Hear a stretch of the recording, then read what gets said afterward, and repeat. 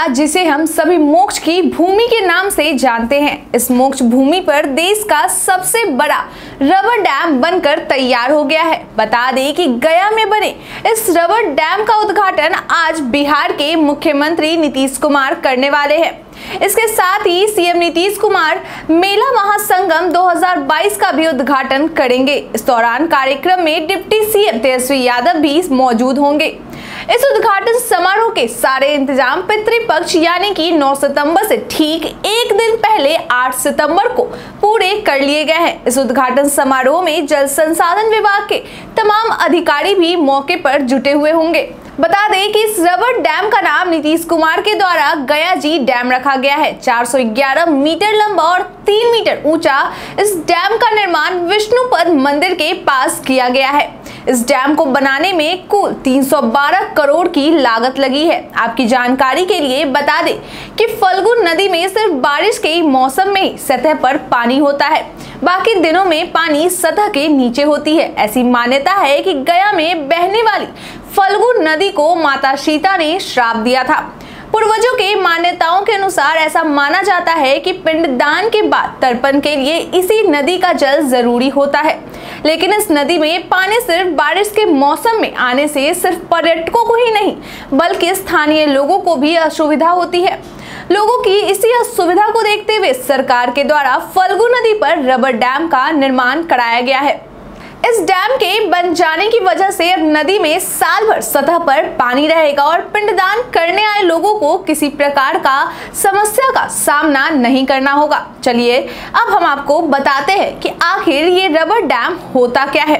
इससे पहले हम ये जान लेते हैं कि आखिर फल्गु नदी पर रबर डैम बनाने की क्यों ज़रूरत पड़ी। बता दें कि जल संसाधन विभाग के कार्यपालक अभियंता अजय सिंह का कहना है कि फल्गु नदी में आम बरसाती नदियों की अपेक्षा एक दिन में ही पानी सूख जाता है, जबकि अन्य नदियों में लंबे समय तक पानी का ठहराव बना रहता है। लेकिन इस नदी के भीतर सीपेज तेज़ी से और अधिक होती है।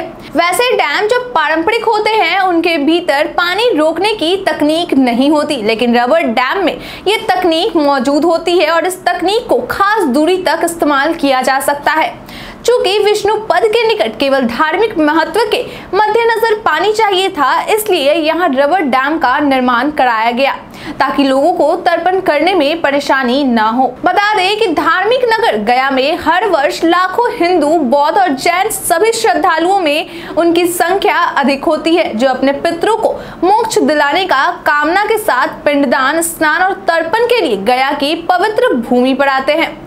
लेकिन विश्व प्रसिद्ध विष्णु मंदिर के निकट मोक्ष दायनी फल्गु नदी में सतही जल का प्रभाव सिर्फ़ बारिश के दिनों में ही होता। इसलिए देश विदेश से आए श्रद्धालुओं को काफ़ी परेशानी होती थी। लेकिन अब इस डैम के निर्माण के बाद फल्गु नदी में साल भर पानी का जमाव होगा। इस डैम का निर्माण मुख्यमंत्री नीतीश कुमार के दिशा निर्देश पर बनाकर तैयार किया गया है। इस डैम का निर्माण साल 2023 तक किया जाना था, लेकिन इसे निर्धारित समय से एक साल पहले ही तैयार कर दिया गया है।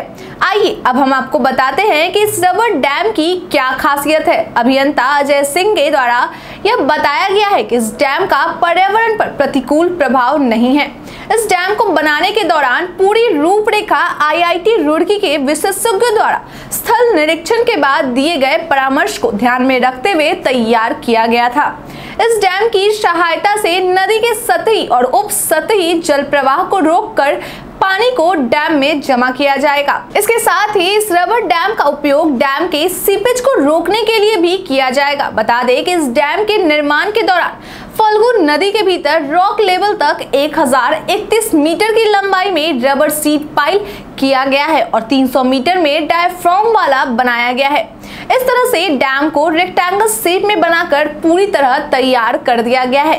वहीं अगर गर्मी के दिनों में डैम में पानी की कमी होती है तो उसे पूरा करने के लिए पाँच बोरवेल किए गए हैं। इस बोरवेल की खासियत यह है कि यह 15 से 20 प्रतिशत पानी की कमी को गर्मी के दिनों में भी दूर कर सकती है। इस पुल का निर्माण बड़ा सुंदर और टिकाऊ तरीके से किया गया है।